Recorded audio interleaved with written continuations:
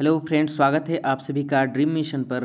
मैं विकास कुमार, आप सभी का स्वागत करता हूँ। आज हम दादा साहेब फाल्के पुरस्कार 2022 के सभी विजेताओं को यहाँ पर इंक्लूड करेंगे।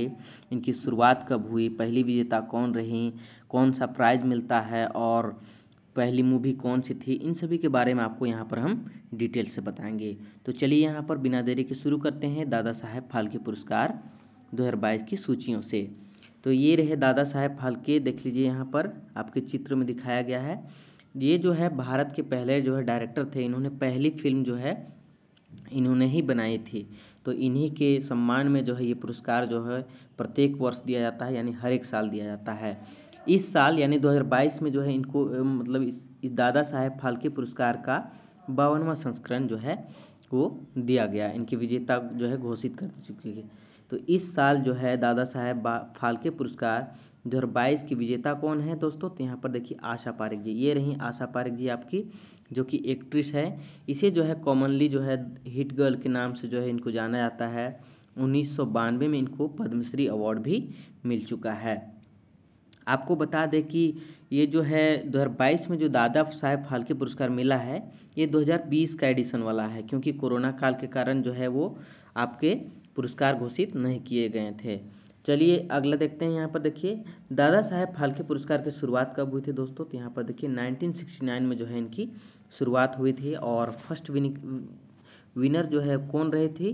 तो यहाँ पर देखिए, देविका रानी, आपको तस्वीर में दिख रहा होगा। देविका रानी जो है वो पहली विजेता थी दादा साहेब फाल्के पुरस्कार की। आगे बढ़ते हैं हम। आगे देखिए यहाँ पर। आगे आपको बता दें कि इस दादा साहेब फाल्के पुरस्कार की जो प्राइज मनी होती है वो कितनी होती है दोस्तों? यहाँ देखिए, ten lakhs and a golden lotus, यानी दस लाख रुपया कैश और एक गोल्डन लोटस, जो कि स्वर्ण कमल जिसको बोला जाता है तो ये दिया जाता है। देखिए आपको चित्र में जैसा दिखाया गया है। तो ये 2022 वाले थे। अब देखिए यहाँ पर आपको यहाँ पर बता दे रहे हैं क्योंकि जो है एग्ज़ाम की दृष्टि से महत्वपूर्ण है। तो जो इक्यावनवा दादा साहेब फाल्के पुरस्कार थे, उनके विजेता कौन थे? तो साउथ के सुपरस्टार रजनीकांत, जिन्होंने जो है 2019 वाला एडिशन को जो है वो जीता था।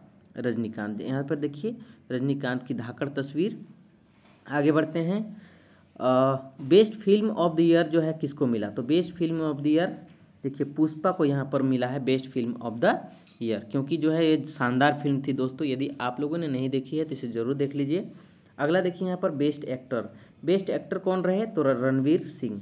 किसके लिए? तो एटी थ्री के लिए जो है, इनको बेस्ट एक्टर चुना गया।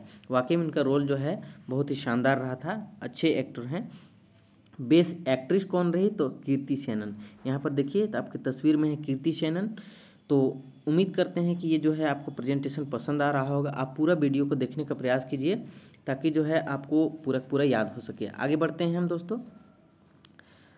देखिए यहाँ पर अगले में है, दादा साहेब फाल्के पुरस्कार जो है, वो शुरुआत हुई थी 1969 में, लेकिन जो है पहली फ़िल्म जो है कब बनाई थी दादा साहेब फाल्के ने? तो नाइन नाइनटीन थर्टीन में, यानी 1913 में जो है पहली फ़िल्म बनाई थी राजा हरिश्चंद्र। ये रहे राजा हरिश्चंद्र, भारत के एक महान सत्यवादी राजा। आपको यहाँ पर दिखा रहे हैं किसे जो है क्या क्या मिला। देखिए यहाँ पर, दादा साहेब फाल्के पुरस्कार के अवार्ड में। तो best film of the year, यानी इस साल के सबसे बेहतरीन फ़िल्म कौन रही? तो पुष्पादी राइज, यानी मैं झुकेगा नहीं साहब।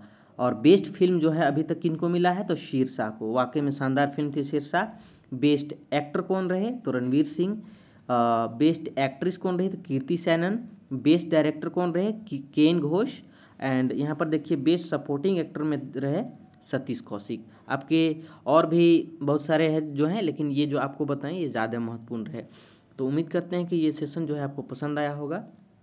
इसी तरह के वीडियो जो है आपको प्रोवाइड कराते रहेंगे, जो आपको हंड्रेड परसेंट एग्ज़ाम में मदद करेंगे।